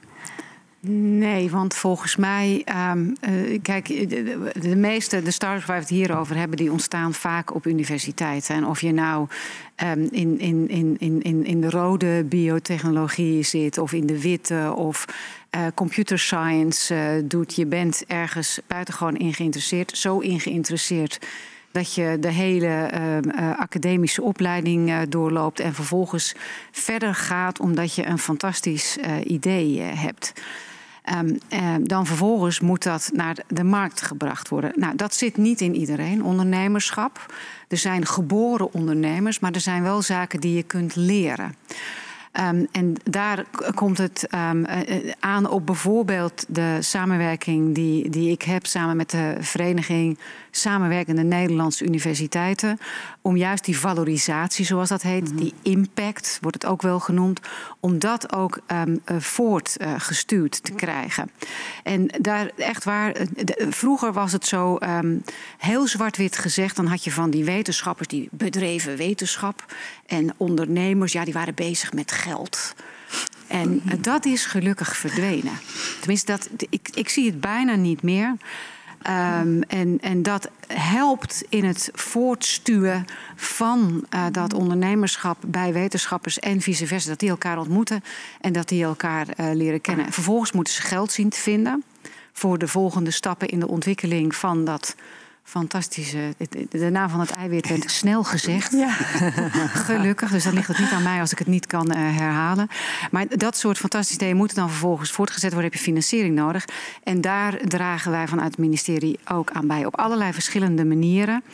Um, uh, er zijn verschillende uh, financiële instrumentarium, uh, de, de SEED-regeling bijvoorbeeld, innovatiekrediet, noem het allemaal maar op, om die financiering rond te krijgen. En we zijn nu net bezig eh, bij elkaar opgeteld 500 miljoen, waarvan een deel ook echt in life science en health gestopt gaat worden, samen met uh, InvestNL. We weten inmiddels de Europese investeringsbank ook geïnteresseerd te krijgen voor het, het zetten van de volgende stap van die diverse start-ups naar scale-ups. Dat is dus niet alleen life science en health biotech waar we het hier over hebben, maar mhm. breder. Maar ja, dat, dat, het is ook echt nodig, want daar gaan we het geld in verdienen in uh, de toekomst. Dus dat is ook, ja, dat, dat gaat ook met heel veel passie en overtuiging dat ik daar uh, mee bezig ben. Ja. U noemde net al uh, terecht, denk ik, het woord valorisatie. Dus de, de stap om kennis vanuit de universiteit naar de bedrijven te brengen. Daar zou ik graag nog even over verder willen praten. En ik denk ook dat u terecht opnoemde dat er een cultuuromslag uh, gaande is. Of misschien al is voltooid. En dat die ook, ik denk ook een, een hele belangrijke eerste stap is binnen de academie. Daarom is het ook zo goed dat de VNCNU daar nu werk van maakt. Uh, Veronique, wat is jouw ervaring met valorisatie? Ja, ik, ik vind um, inderdaad het, um, nou, je zou, het spanningsveld of, of de samenwerking met dus uh, in, in mijn geval de oprichters ook en met het instituut waar wij uit zijn voortgekomen, is een heel mooi gebied. Want daarin uh, zijn we nog steeds heel dicht bij elkaar. Um, wij wisselen kennis uit om dat te versnellen. Wij mogen ook in die zin kennis gebruiken. nou ja, natuurlijk moet je dan aan de onderhandeltafel hoe je daarmee omgaat met het IP. Uh, maar daar zit heel veel toegevoegde waarde in. En um, de ontwikkeling en de cultuur is echt merkbaar dat daar steeds meer respect komt. Ik denk uit beide kanten voor elkaar. Want eerst waren die werelden zeker uh, ver uit elkaar. Ook, ook voor, voor, de wetenschap was geld uh, inderdaad enigszins een nou, vies bijna. Dat moet je toch niet willen. dat komt nu veel dichter bij elkaar. En ook die generaties die nu allemaal ehm, ja, er van afkomen van die universiteiten... die zijn ook, zitten veel dichter bij dat ondernemerschap in wat ze willen doen. Dat merk je echt bij de aanwas die er aankomt. Um, dus dat, uh, dat werkt zeker zo. Ja, de samenwerking met die topinstituten is voor ons essentieel. Ik wil er ook wel op inhaken. Meest recent zeg maar een spin-out mee helpen maken vanuit de, VU. Mm -hmm. Op immuunonchologiegebied. Dus het leren van uh, je eigen immuunsysteem om uh, je, je, kanker zeg maar, aan te, te vallen. Uh, dat is een bedrijf dat we uh, 2016 zijn begonnen. 2017 is dat uitgelicenseerd. Dus vanuit de VU zeg maar, naar Lava heet het bedrijf. En het kan ook veel sneller gaan hoor, dan wat ik het verhaal van Aanfarma net neerzette. Want uh, Lava gaat nu dit jaar zeg maar dan uh, naar, naar de kliniek, is, is het plan. En heeft zojuist ook zijn, zijn, zeg maar zijn filing gedaan om eventueel een IPO in, in Amerika te gaan doen. Dus dat soort ontwikkelingen kunnen sneller gaan. En dat heeft ook zeker niet alleen het nut voor de patiënt, hè, dat een idee ook daadwerkelijk in zo'n korte tijd bij patiënten terecht kan gaan komen. Maar het is ook financieel aantrekkelijk voor de universiteit om dat te doen. Dat is natuurlijk meedelen in het succes van zo'n ontwikkeling. Ja. Nou gaat het niet altijd zo goed, zeg maar. Er zijn ook best veel uh, hordes nog op de weg om zo'n bedrijf te starten. En dus een aantal van de subsidieregelingen voor de vroege fase worden eigenlijk allemaal gekanaliseerd via de universiteiten. Um, en vaak gaat het om inderdaad om die wetenschappers aan ondernemers te koppelen. En zou je meer vroege fase faciliteiten moeten hebben waar geld gekanaliseerd wordt via bedrijven. Want dan het geld bedrijfsmatig wordt geïnvesteerd. Dus dan wordt er een product voorwaarts gebracht. En wordt er niet geïnvesteerd in de breedte, zeg maar, om meer ontwikkeling in de research te gaan doen. Dus daar zou ik wel voor willen pleiten. Um, uiteraard is er natuurlijk, sorry, de, de, innovatiekrediet en de WBSO als hele goede generieke mhm. regelingen. En ik denk dat we daar heel blij mee kunnen zijn hoe de WBSO ook verruimd is uh, met die investeringsaftrek. Uh, want dat heeft echt wel uh, impact op ons type bedrijven. Maar ik denk ook wel dat er nog meer specifieke maatregelen zijn. Om, dat heet dan zo mooi de Valley of Death. Dat staat ook in het document natuurlijk van ja. VNO, wat maandag is aangeboden om daar eigenlijk oplossingen voor te vinden. Omdat daar niet het geld vanuit de markt beschikbaar voor is om dat risico af te dekken. Ja, we zijn de vroege fase financiering. Daar zijn we nu ook mee bezig om dat uh, via de regionale ontwikkelingsmaatschappijen land, mhm. land, landelijk dekkend uh, te maken. Waarin je meer kansen hebt. We hebben dus ook met TechLeap, waar we echt meerjarige afspraken nu mee gemaakt hebben om dat ecosysteem ook echt uh, te verbeteren. Dus ja, en, en wat je wel, wel, wel ziet in het topsector en innovatiebeleid, er wordt soms net gedaan alsof dat afzonderlijke silo's zijn. Nou, mijn uh, perceptie is dat helemaal niet, maar ook zeker met het nieuwe beleid wat we nou anderhalf jaar geleden volgens mij al uh, vastgesteld hebben. Um, lopen daar ook veel meer, de dwarsverbanden die er al zijn, zitten nu ook meer in het uh, systeem. Uh, als je kijkt naar de missies daar zijn, vast, zijn vastgesteld, gezondheid en zorg bijvoorbeeld, waar het hier mhm. vooral nu over gaat. Daar zijn betrokken bij life science en health natuurlijk, agro en food, tuinbouw en uitgangsmaterialen, chemie, HTSM, creatief en logistiek. Dus al die verschillende topsectoren zijn daar ook bij betrokken. En zelfs als je het hebt puur over, over biotech, dat kan niet meer zonder uh, digitalisering, data en analytic, mm -hmm. analytics en AI. Dus je ziet wel al die dwarsverbanden uh, gewoon ontstaan, omdat het niet meer zonder elkaar uh, kan. Nou, de volgende stap is nou om ervoor te zorgen dat ook het, het um, voor zover, moet ik erbij zeggen, het financieel instrumentarium er nog niet bij aangesloten uh, is dat we ook daar weer verbeteren. Maar ja, gelukkig blijft er ook werken aan de winkel voor mensen zoals ik. Zo moet ik u noemt terecht dat uh, cross-sectorale aspect. Want u noemde al een aantal, uh, aantal topsectoren zoals agri-food en tuinbouw en uitgangsmaterialen en life science health natuurlijk. En eigenlijk hebben deze en chemie, eigenlijk zie je dat binnen deze topsectoren een groot deel, biotech als een van de enabling technologies, het is niet voor niks een sleuteltechnologie, is om zeg maar uh, die sector of te vergroenen of uh, geneesmiddelenontwikkeling te verbeteren. Dus uh, biotech en samen met AI, denk ik, zijn ontzettend belangrijke drivers in deze sectoren. -hmm. Misschien. Veronique, jij zit natuurlijk met Fotonol in de processen. Voel jij je verwant aan de chemische industrie? Vroeg ik me af. Ja, ik, ik voel mij verwant aan de agri. Ik ben half een boer en half een chemicus. En uh, bij ons komt het samen. Ja, dus uh, dat antwoord nou ja. Daarin lopen wij wel aan tegen dat we, omdat we uit die twee komen, hè, um, niet passen in het ene sec en niet passen in het ander. En daar, nu komt mijn pleidooi, daar zouden wij wel graag willen werken aan een vergunningskader, wat op een gegeven moment ook die dingen um, overstijgt. Hè. Die grenzen, en die, dat is natuurlijk heel moeilijk, uh, dat, dat begrijp ik. En wij hebben daarin goede, wij zijn goed aangehaakt en dat loopt allemaal heel erg voorspoedig. Maar juist vanuit die twee bloedgroepen samenkomend, is dat echt aan het voorfront werken en is regelgeving voor ons dan vergunningen, ik weet niet of dat voor jullie ook speelt, is echt een, um, een ding waarmee wij uh, procesmatig zouden kunnen versnellen. Dus operationeel versnellen zonder dat wij dat. Uh, wij kunnen sneller, maar door die looptijd uh, van negen maanden wordt de totale output uh, beïnvloed. Dus ja. dat, ja, twee ja, bloedgroepen heel typisch hè, wat ja. jij noemt als frontrunner, wat jullie zijn. En uh, heel ja. veel bedrijven in onze biotech loop je altijd eerst tegen de grenzen op van regelgeving. Want die regelgeving was niet bedacht. Ja, die, die is bedacht op een moment. Dat dit nog niet bestond. Nee, ja. dus, dus dat, dat is bijna een definitie van al onze leden. Dat ze, omdat ze die frontrunners zijn in de sector, eigenlijk altijd wel tegen de grenzen oplopen.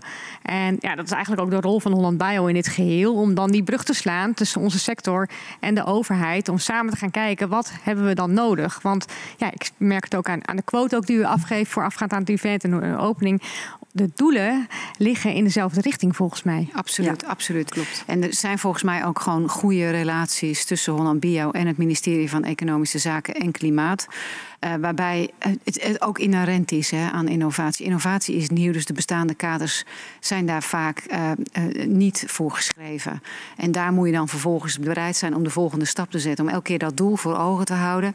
Nou, gezondheidszorg, nieuwe medicijnen. Als dat wat jullie bedacht hebben toch uiteindelijk het woord. Nou, hoeveel mensen zijn daar niet blij mee? Nou ja, en als je die bewust, als je die levenshouding hebt en dat geldt um, voor heel veel mensen bij mij op het ministerie die hierin werken, dan komen we er uiteindelijk vanzelf. Daar ben ik van overtuigd. Want iedereen ziet die stip op de horizon waar we naartoe willen. Ja, helemaal eens. Um, is financiering van jullie, in jullie tak van sport ook zo lastig, Veronique? ja, nou ja, ik ben wel jaloers op de bedragen die jij noemt. ja, 116 miljoen uh, las ik. Ja, precies. In de laatste precies. ronde. Ja, dat, dat, is, um, dat is lastig.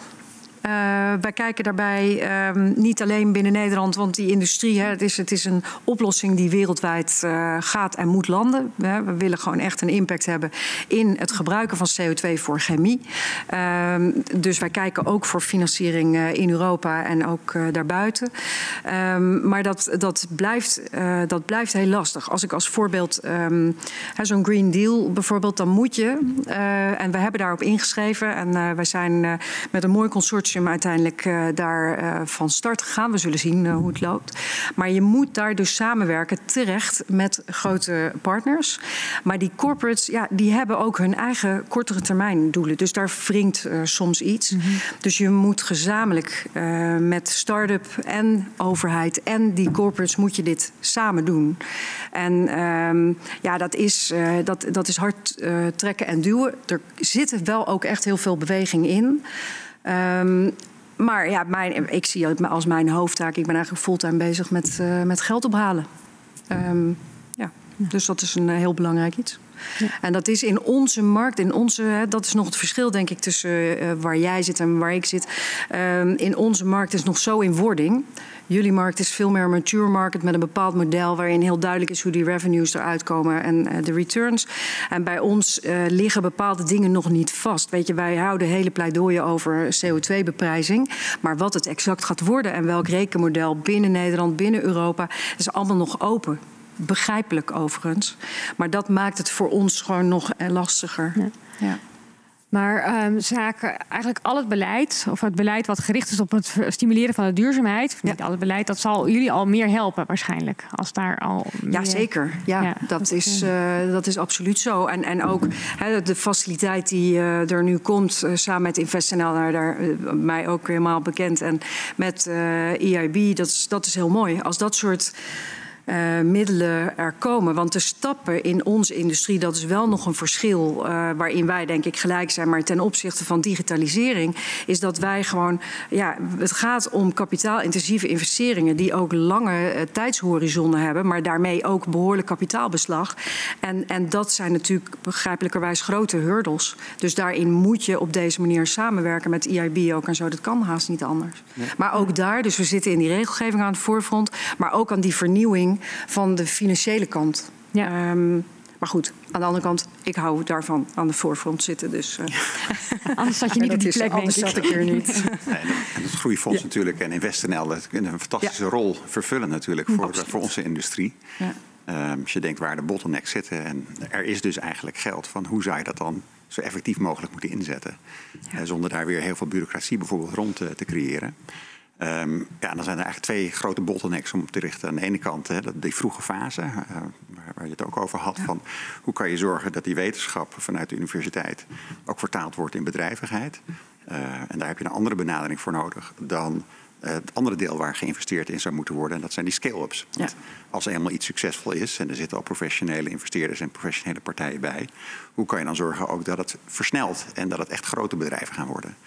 Denk... dat, daar heb ik in de laatste begroting uh, bij elkaar opgeteld 500 miljoen uh, voor weten uh, weg te slepen bij het ministerie van Financiën. Uh, wat uiteindelijk dan uh, zal landen in een drietal fondsen. De een natuurlijk Life Science en Health, de ander Deep Tech en alternatieve financiering. Want wij, wij zien dat natuurlijk ook.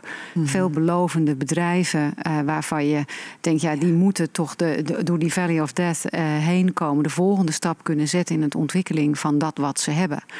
Ja, en dat is uiteindelijk een investering in de lange termijn van het verdienvermogen van Nederland. Ja. Wat gaat leiden tot, tot die banen, um, uh, uh, voor, voor die banen van, van de toekomst, welvaart, welzijn. En ik hecht er altijd aan om, als ik dit soort gesprekken voer, om daarbij altijd het volgende te zeggen. Dit klinkt altijd heel erg als een uh, hoogopgeleid wetenschappelijk onderwerp, waarin vooral mensen met, met masters en, en, en, en uh, gepromoveerde uh, Willy Wortels uh, in lab staan. En dat is niet zo. Um, en ik denk dat wij dat ook, dat het onze verantwoordelijkheid is om ook de rest van Nederland daarin mee te nemen. Dat als je iets fantastisch uh, moois bedacht hebt, wat gemaakt moet worden, daar heb je weer gouden handen voor nodig. Die ja. zitten nu op de MBO-opleidingen. En uh, als we dat op zo'n manier ook weten neer te zetten, dan wordt het ook iets van ons ja. allemaal. Ja, ja, ik denk dat het een heel belangrijk aspect is. En het is ook zo. Ik denk dat onze sector echt heel veel banen kan opleveren voor de, over de hele breedte. En we kijken, uh, kijk, en het buitenland staat natuurlijk niet stil. Ik bedoel dat wij biotech. Zeker. Kijk, ik zit op biotech ongeveer, dus uh, ik ben altijd enthousiast over. Maar ook in andere landen zie je dat er flink geïnvesteerd wordt. Dat er naar gekeken wordt. En een, een voorbeeld dicht bij huis is bijvoorbeeld België. En die hebben dat eigenlijk een aantal dingen gewoon heel slim gedaan. En uh, da daarmee zijn ze ook hard gegroeid. Ze hebben heel erg ingezet op de valorisatie, op die tech transfer, om dat slimmer te doen.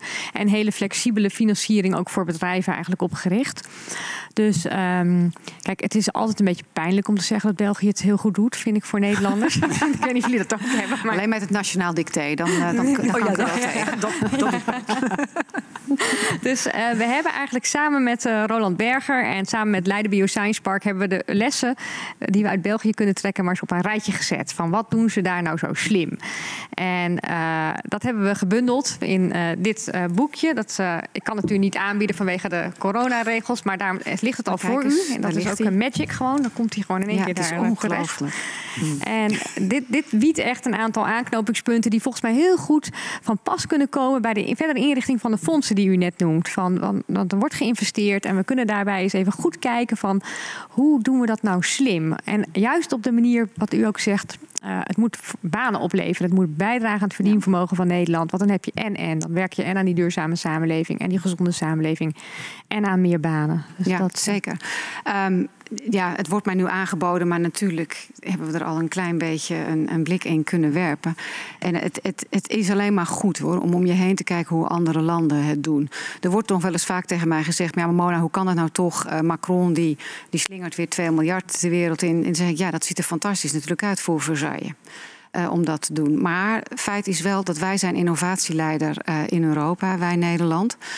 Um, um, dus als je alle verschillende uh, bedragen elkaar optelt, is het voor Nederlandse begrippen echt een aanzienlijk bedrag waar je het uh, over hebt het, het instituut wat ze in het Vlaams Instituut voor Biotechnologie, wat ze hebben, ja, zo'n instituut hebben wij niet. Maar waar wij juist heel sterk in zijn, is juist die samenwerking uh, door instituten heen, de universiteit, kennisinstellingen, bedrijven, internationale farmaceuten. Uh, en dat is echt, wij zijn het onszelf niet bewust, maar hoe vaak in het buitenland door collega's uit het buitenland aan mij gevraagd wordt: hoe doen jullie dat nou eigenlijk? En het is trouwens niet aan ze uit te leggen, want het, het, dat zeggen ze, dat doen wij ook. Wij hebben ook publiek-privaat partnerschap. Maar als je doorvraagt, merk je dat dat echt heel anders is dan dat wij dat doen. Zo'n topsector en innovatiebeleid, dat wordt in, in buitenlanden gewoon op ministeries geschreven. Hier doen wij dat in heel veel gesprekken, sessies zoals deze bijvoorbeeld. En komen wij uiteindelijk tot beleid. Desalniettemin kunnen we leren. Um, um, ik begrijp uit dit stuk dat um, in uh, België er veel meer privaat uh, R&D uh, geïnvesteerd wordt. Nou, eens kijken hoe het nou kan dat bedrijven daar meer doen. Uh, want dan zou dat toch hier ook moeten kunnen als je kijkt naar uh, de, de, de, de, verschillende ecosystemen die wij op dit gebied hebben. Um, in België lijken er betere faciliteiten te zijn. Nou, klopt dat en wat betekent dat dan voor ons? Clemence Ros heeft net aan de Tweede Kamer een actieprogramma voor de topsector Life Science en Health aangeboden. NFIA is bezig met een analyse en um, ik wil die graag bij elkaar nemen uh, om te bezien uh, welke stappen wij hier nog kunnen zetten. Want we zijn wel innovatieleider, maar ik wil het ook heel graag uh, blijven. Nou, over twee weken hebben we de verkiezingen gehad. Dan wordt er gesproken over een nieuw kabinet. En dan zal ik in ieder geval zorgen dat deze informatie daar ook op tafel ligt. Want het is gewoon van belang, zoals ik al een aantal keer gezegd heb, voor onze toekomst. Dank u wel. Ik denk dat dat is heel, het klinkt mij als muziek in de oren. Dat u alvast helpt dat het volgende kabinet hiermee aan de slag gaat. Um, gezien de tijd wil ik, denk, wil ik Veronique en Erik allebei misschien nog jullie, jullie wens voor de komende vier jaar of jullie boodschap aan een nieuw kabinet? Nou, eh, heel kort dan. Eh, we hebben denk ik fantastische kans om eh, het Boston aan de Maas te worden. als het gaat over biotechnologie is dat echt een leidende regio. En daar moet je kritische massa voor bouwen. En die kans ligt er. Ik denk de infrastructuur ligt er. En wat je daarvoor nodig hebt is in, in overleg zeg, met deze Kamer op met VWS. Om daar gewoon gericht veel meer geld in te stoppen. Omdat je dat dan zeg maar kan versnellen. Uh, en uh, ja, dat zouden we eigenlijk de komende paar jaar moeten be beetpakken. En anders gaat die kans ook weer voorbij. Ja, want dan komt ook die private uh, ja. financiering weer verder op gang. Die je in België ook ziet. Dat is ook iets wat nu opkomt. Dus dat is ook ja. volgens mij dat punt. Veronique? Nou, geld, regelgeving. En dan een ander belangrijk punt uh, voor ons uh, ook zeker, bij jullie speelt dat iets minder denk ik, is de perceptie rondom biotech. Want biotech voor pharma is heel erg uh, gevestigd. wij zijn daarin opkomend nieuw als industriële biotech. En we lossen een groot probleem op. dus dat angstige rondom biotech nou, moet eraf. En dat is ook een gezamenlijke actie volgens mij. Want uh, ja, de hele industrie vaart er wel bij. Hoi. Voor u het laatste woord? Ja, ja het, het, is een beetje campagnetijd. Ik zou bijna willen zeggen, nu doorpakken. Ja, ja dat mag hier een andere tafel, ik. ja. Nee, serieus. Ik heb daar alles nu volgens mij al over gezegd. Dat is gewoon glashelder. Wat een fantastische zaken in deze drie verschillende onderdelen... Uh, rood, uh, wit en groen van de biotechnologie gebeurt. Daar liggen de oplossingen voor de toekomst. Het enige wat we moeten doen is zorgen dat uh, ze ook gepakt worden. Ik kan het zelf niet mooier zeggen. Ja. Hartelijk dank voor deelname in dit gesprek. Erik, Veronique ook. Bedankt voor het delen van jullie ervaringen en inzichten. Um, we gaan nog even terug naar uh, Bastiaan om te kijken wat de fokken en sukken hiervan vinden. Bastiaan. Ja, inderdaad. Um, laatste ronde. Um, ik was uh, heel uh, verrast dat het, het het bedrijf van mevrouw De Bruin uh, CO2 als grondstof heeft. Dat is weer eens een hele andere manier van uh, nadenken. Fok en Sukker zien het ook wel zitten. Ze zien de toekomst zonnig in. Oh, zoning staat hier. Zonnig in. Wij kunnen nog jaren in een grote benzineauto blijven rijden als CO2-leverancier van Fotanol. Yes, superleuk. Um, We sturen hem je. Het ging uh, um, uitgebreid uh, uh, met de andere twee gasten over, over scale-up. En hoe kom je nou van onderzoek naar bedrijvigheid enzovoort. En ja, Fok en Sukker zijn nog studenten en die zitten een stapje eerder. Hoe kom je nou van een goed idee naar, naar onderzoek? Fok en Sukker geloven heilig in serendipiteit. Wij verwachten hier in ons studentenhuis ieder moment een biotech-doorbraak te maken. um, ik, uh, ja, het, Vlaanderen als groot voorbeeld. Ja, en Sukker die, ja, die geloven er niet zo in. Fok en helpen hun patiënten onder meer met astrologie en klankschalen. Ach, België, ook daar altijd, nog altijd nul studies naar de genezende krachten van kristallen. En dan tenslotte, uh, wat mij, uh, ja, rode, witte en groene biotech, dat zijn natuurlijk leuke, leuke, uh, leuk jargon is dat. Fokken en Sukken hebben hun kweekvleesburger te lang in de ijskast laten staan. Schimmel? Het is geen schimmel, dat is nou witte biotech. oh, fijn. That's it. Hartelijk dank, Bastiaan. Ik vind het erg leuk. Um, daarmee komen we aan het einde van het uh, Dutch, uh, nee, van het Holland Bio Year Event 2021. Uh, ik wil graag drie dingen met jullie afspreken thuis. Eh, jullie kennen me, normaal zou je ook inspraak hebben, maar ik kan alleen maar zenden vandaag. Dus afspraak 1. jullie gaan door met jullie fantastische innovaties om te zorgen voor die biorevolutie dat die op gang komt. Deal 2. Holland Bio blijft rennen om alle knelpunten weg te nemen. En punt 3. We gaan elkaar dit jaar weer in het echt zien. Ik kan niet wachten. Bedankt voor het kijken en tot snel.